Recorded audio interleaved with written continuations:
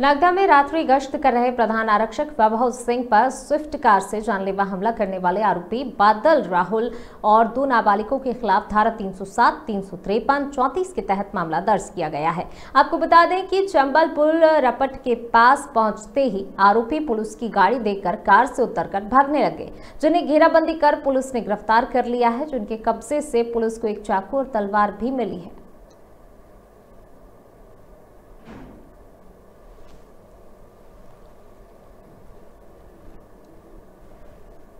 लोग तत्काल अपने दल बल के साथ जनसेवा पहुँचे, पूरी रिपोर्ट ली और उसके बाद घेराबंदी करना शुरू कर दिया। और अपने सीसीटीवी कैमरे में एक व्यक्ति जो हमारा रात में लगा रहता है, उसने भी देखता रहा देखता रहा देखता रहा। ये अपने चंबल नदी के पास में सूचना लगी कि वो गाड़ी खड़ी हुई है। तो